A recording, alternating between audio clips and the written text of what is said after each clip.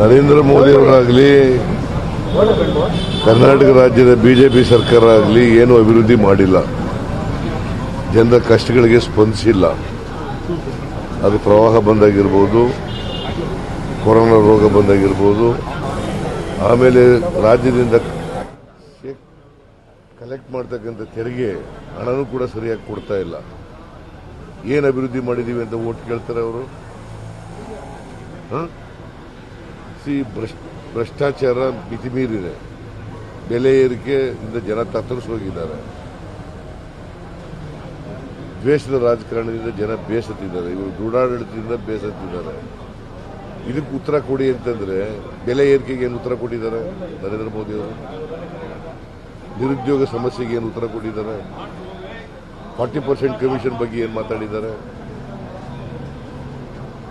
ಅದ್ರ ಬಗ್ಗೆ ಏನು ಉತ್ತರ ಹೇಳಿದಾರ? ಅದ್ರ ಬಗ್ಗೆ ಏನಾದ್ರು ಪ್ರಸ್ತಾಪ ಮಾಡಿದಾರ? ಭ್ರಷ್ಟಾಚಾರದ ವಿಚಾರಕ್ಕೆ ಬಂದಾಗ ಅವರು ರಾಜೀವ್ ಗಾಂಧಿ ಅವರು ಹೇಳಿಕೆಯನ್ನ ಪ್ರಸ್ತಾಪ ಮಾಡ್ತಾರೆ.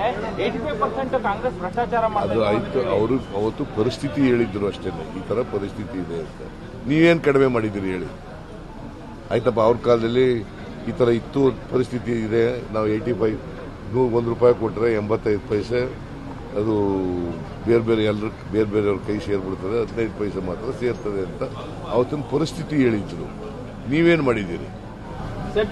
ಈಗ ಒಂದು ರೂಪಾಯಿ ಖರ್ಚು ಮಾಡಿದ್ರೆ ಒಂದು ರೂಪಾಯಿನೂ ಜನಗಳಿಗೆ ಸೇರಂಗೆ ಮಾಡಿದಾಗ ನೀವು?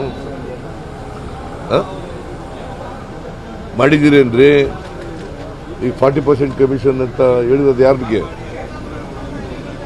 ಬಿಜೆಪಿ ಸರ್ಕಾರಕ್ಕೆ ಹೇಳಿರೋದು. ಹಿಂದೆ ಯಾವಾಗಲೂ ಹೇಳಿದ್ರ ಕಾಂಟ್ರಾಕ್ಟರ್ ಅಸೋಸಿಯೇಷನ್ ಅವರು ಭಾಷಣದಲ್ಲಿ ಬರೀ ನಿಮ್ಮನ್ನೇ ಟಾರ್ಗೆಟ್ ಮಾಡ್ತಾ ಇದ್ರು. ಲಿಂಗಾಯತ ಸಮುದಾಯನ ಸಿದ್ದರಾಮಯ್ಯನವರು ಗೌರವಿಸ್ತಾ ಇಲ್ಲ ಅವ್ರು ಹೊಡೆಯುವಂತೆ ಕೆಲಸ ಮಾಡ್ತಾ ಇದ್ದಾರೆ ಎಲ್ಲರೂ ಒಗ್ಗಟ್ಟಾಗಬೇಕು. ನಾವು ಮೀಸಲಾತಿ ಜಾಸ್ತಿ ಮಾಡಿದೀವಿ ಅನ್ನೋದ್ರ ಬಗ್ಗೆ ಕೂಡ ಜಾಸ್ತಿ ಯಾರು ಇದ್ರು. ಮೀಸಲಾತಿ ಮಾಡಿಲ್ಲ ನಾವು ಹೇಳ್ತೀವಿ.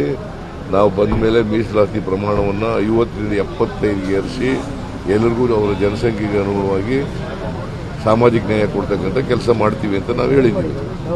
ಅವ್ರು ಮಾಡಿಲ್ಲ. ಅವರು ಸಂವಿಧಾನಕ್ಕೆ ವಿರುದ್ಧವಾಗಿ ನಡ್ಕೊಂಡಿರೋದ್ರಿಂದ ಕೋರ್ಟ್ಗೆ ಹೋಗಿದೆ, ಕೋರ್ಟ್ನಲ್ಲಿ ಅದು ಪೆಂಡಿಂಗ್ ಇದೆ. ಅದೇನು ಜಾರಿ ಆಗಲ್ಲ. ಎಲ್ಲಿ ಮಾಡಿದ್ದಾರೆ?